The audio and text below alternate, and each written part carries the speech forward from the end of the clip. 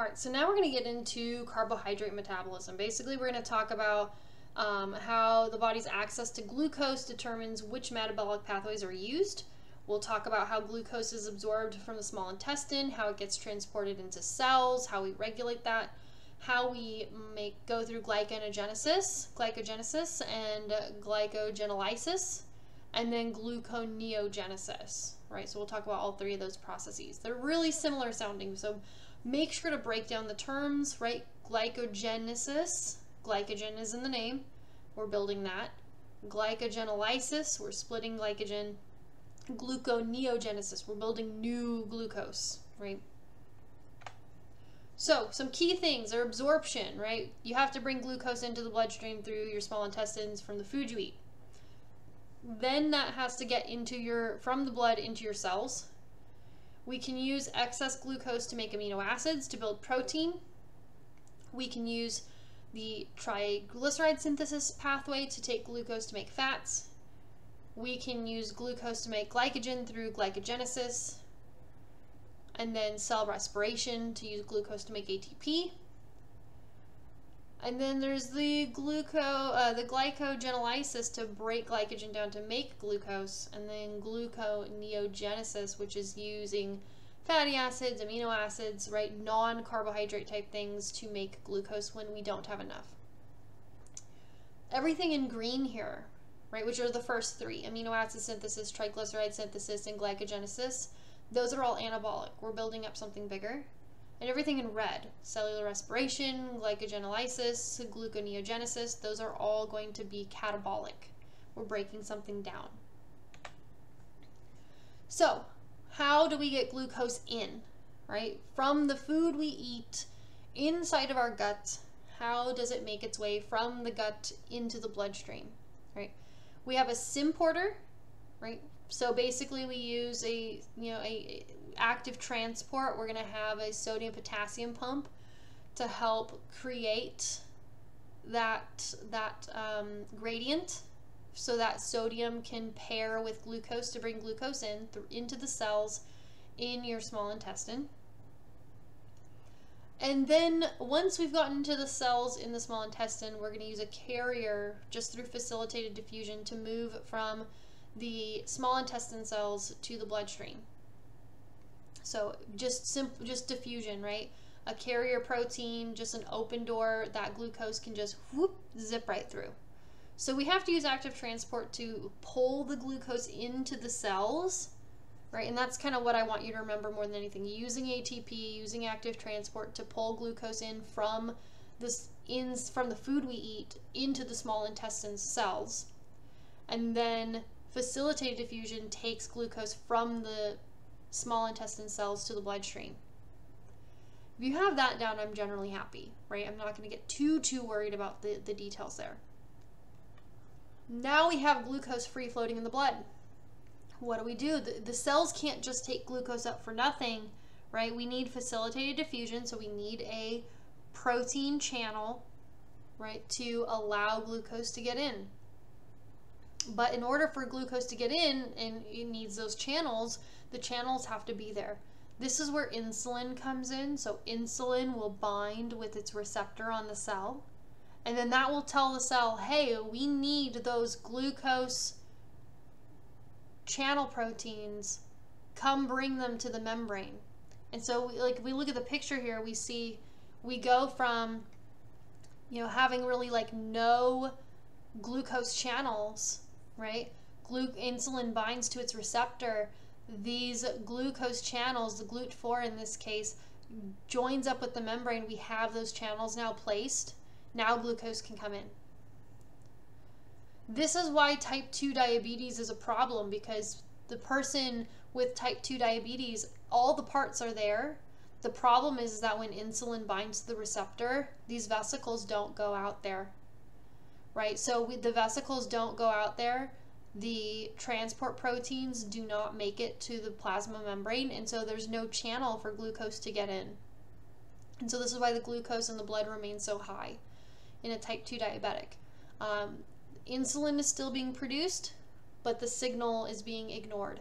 So even though insulin binds, we're stuck in this state here, And so glucose builds up because it has no way in, right?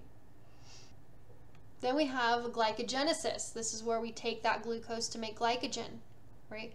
So we can't store just a bunch of free glucose, right? Because that's going to pull water into the cell through osmosis and cause them to burst. So instead, we have to stitch those glucose together to form glycogen. And glycogen's huge. I mean, right right here, one glycogen molecule stores about 60,000 glucoses. So you look at the picture there, like there's our glycogen. That's huge, right? Huge, huge, huge. So it's a better way to store it, right? In term for long term, and it's not going to cause damage to the cells. So we, to do this, are going to add a phosphate to the glucose. This is going to trap it so the glucose can't escape. And then we have the glycogen synthase enzyme to start stitching those glucose molecules together. Insulin is the one that's going to trigger this process, right? Again, you don't need to worry about the fine details.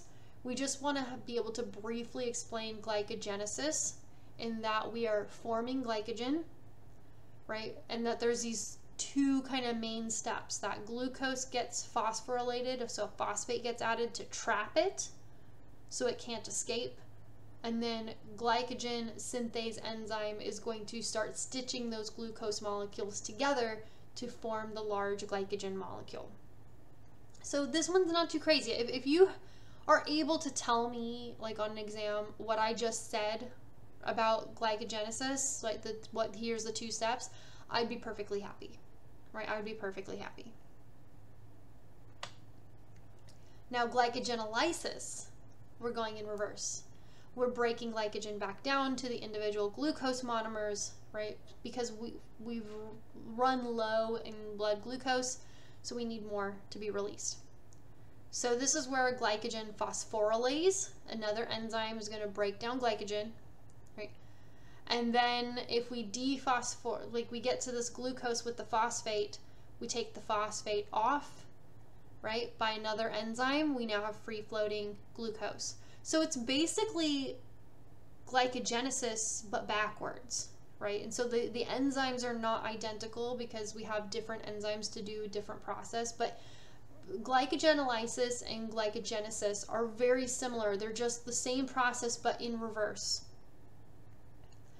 What can trigger us to break down glycogen? Things like glucagon, which is released when our blood glucose gets low due to fasting, as well as epinephrine, which is going to be part of our fight or flight response. Now, let's say for whatever reason we need new glucose. We don't have really any available. We are not necessarily breaking it down. We're going to make some from scratch. We have gluconeogenesis. Gluco, we think glucose. Neo, we think new. Genesis, beginning or creation. So this is the creation of a new glucose molecule, right? So we can use things like amino acids. We can use components from triglycerides like fatty acids and glycerol. We can use lactate, right, to build this. And this is great when we are fasting, right? When we don't have access to a food source for a little while, gluconeogenesis can help us use other components that we may have excess of to create new glucose. So things like cortisol, thyroid hormones, epinephrine, human growth hormone, glucagon, right? These can all stimulate this process. And basically it's glycolysis, but backwards. So remember glycolysis from cell respiration, it's the reverse. So the fatty acids can become acetyl-CoA and enter in this process. Amino acids can be used to become pyruvate and enter in this process, but we go through gly gly um, glycolysis backwards to get to glucose. And this is only because we don't have enough glucose because for whatever reason we're fasting. We don't have access to food at that moment.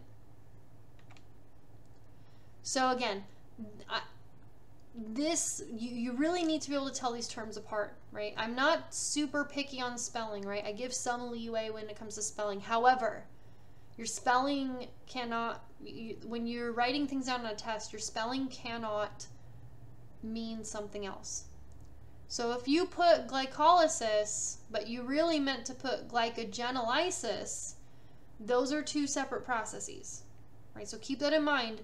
You will have to be able to know these processes apart, and they are very similar sounding. So you're going to have to put in the effort to really be able to memorize what each process is, and it'll be a lot easier if you remember all your roots. Glyco, right? We're thinking something with glucose or glycogen. Lysis, to split, right? If you see the glyco by itself or gluco by itself, think glucose. If you see the glycogen, then you know you're dealing with glycogen. Lysis, you're splitting it, you're breaking it. Just en just nesis, right? That's just generation, you're making it. Like synthesis. Neogenesis, this is new, right? Neo meaning new. So this is for the new creation of that molecule. So I'm not going to go through and just like read this to you. You can pause here if you need to, but just break down the terms, right? While you're going through and studying, break down the terms because there is a lot of information hiding in the names. And if you can find that information in the name, you make your life a lot easier in trying to remember which one's which.